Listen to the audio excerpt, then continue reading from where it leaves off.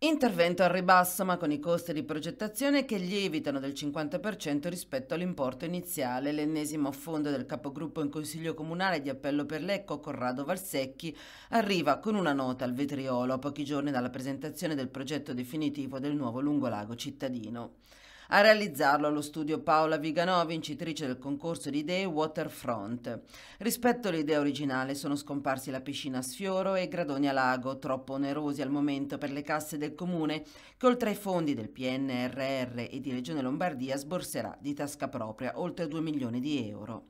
Valsecchi, chiesto l'accesso agli atti, fa le pulce all'amministrazione, nella speranza che nessun partecipante al concorso faccia causa o ricorso contro il comune, una manutenzione straordinaria che sistemi la pavimentazione e gli arredi del lungolago è la benvenuta, scrive l'ex assessore ai lavori pubblici.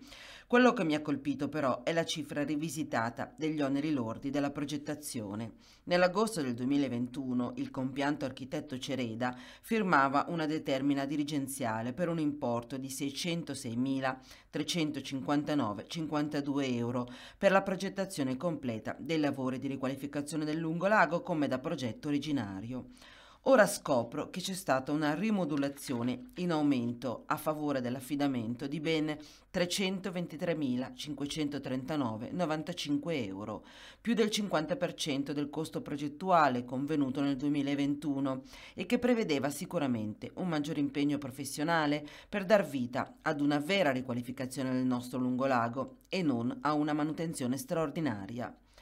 Poi l'affondo. Ma se quel progetto non si può più realizzare, se la Giunta ha deciso di fare altro, che ha un impatto molto più modesto e sicuramente meno impegnativo, vista l'eliminazione di aspetti strutturali ed impiantistici strettamente connessi alla piscina a sfioro, perché dobbiamo spendere 930.000 euro anziché 606.000, che erano onnicomprensivi di un lavoro sicuramente più faticoso per lo studio Viganò? Sono domande che faccio pubblicamente perché il Consiglio Comunale si terrà solo a fine mese, dopo due mesi di vacanza per mancanza di ordine del giorno. Chiedo solo, conclude Varsecchi, di fare chiarezza perché anche su questa vicenda purtroppo i conti non tornano.